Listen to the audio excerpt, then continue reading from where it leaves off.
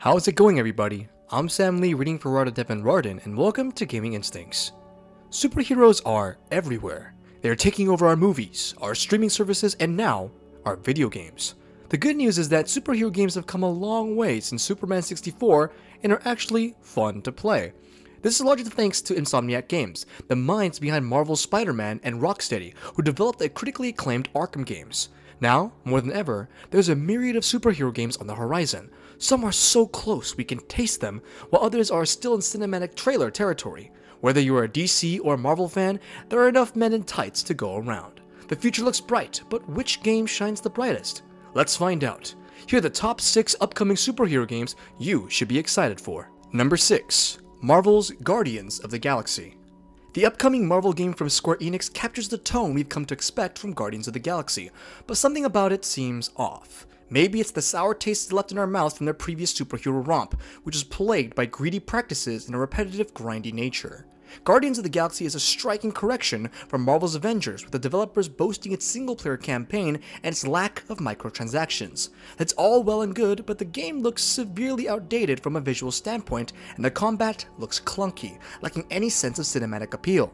Additionally, the dialogue and voice acting are too heavy handed with the cheese factor, but then again, maybe we're all biased. The type of bias that seeps in after watching the Marvel Cinematic Universe for so long. The one that tells us we know how these characters should look and act.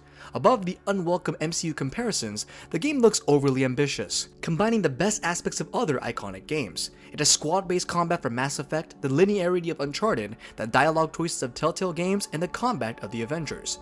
If Square Enix can pull all of this off, then we may have a masterpiece on our hands, but right now, Guardians of the Galaxy is shaping up to be a solid 7 or 8. Not bad, but not anything special. Also, Rocket's goatee is hideous. Number 5. Midnight Suns. Midnight Suns presents an interesting case because excitement is largely dependent on your fandom for the genre. For the makers of the XCOM series, Midnight Suns delves into the world of tactical role-playing games, except this time, there's a card-based system at play. While XCOM is a more difficult game with permadeath, Midnight Suns makes players feel powerful through the dominating strength of various superheroes, to put this into perspective, XCOM was a slower paced game where characters steadily grew more powerful. Midnight Suns, on the other hand, doesn't take superpowers for granted, giving players immense strength from the get-go. As a result, one wonders where the challenge comes from, an essential part of XCOM's success. The one thing that's rather impressive about Midnight Suns is the cast of characters, which dives deeper than the typical Iron Man's or Captain America's. These characters are still in the game, but characters like Ghost Rider, Wolverine, Blade, and even Nico Minoru from the Runaways make a welcome appearance.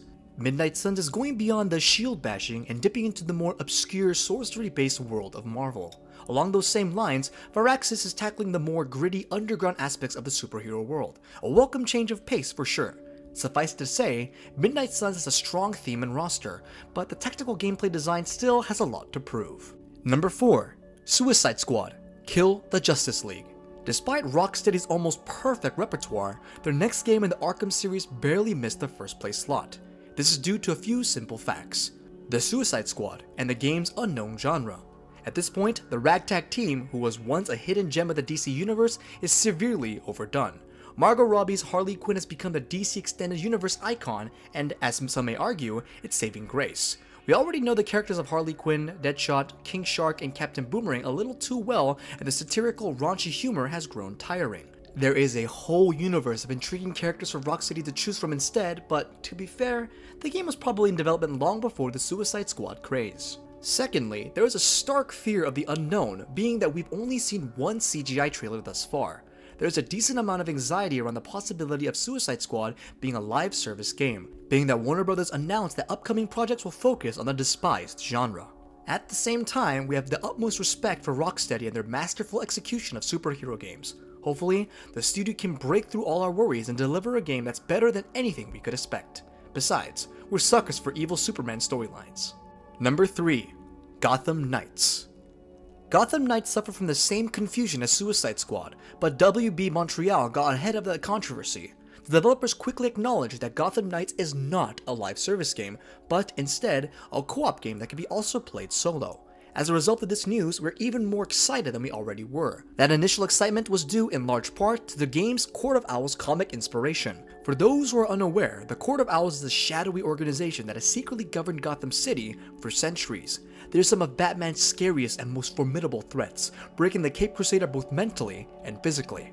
From a gameplay perspective, Gotham Knights look different than what we've come to expect, specifically when it comes to enemy damage numbers in combat. Whereas previous Batman games look grounded, Gotham Knights is leaning into its video game medium.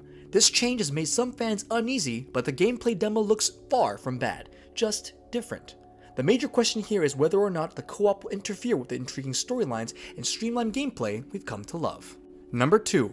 Marvel's Spider-Man 2 just showing the Spider-Man logo was enough to get us hyped. That's because Insomniac Games has become a consistent beast of game development. The first Spider-Man game mastered everything we've come to love about the hero. The web-slinging, the agile combat, the breathtaking open-world city, a dorky yet smart Peter Parker, and a villain-heavy storyline.